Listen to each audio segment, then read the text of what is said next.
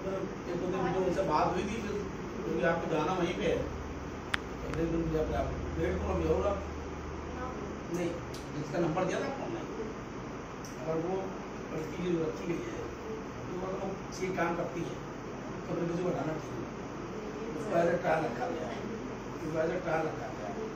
अगर वो मालूम नहीं उनके साथ काम कर पाती है, हमने आप बोला नहीं आपको उस दिन शायद आप गई भी नहीं थे मतलब कॉल कर आपने कहा था नहीं हम्म,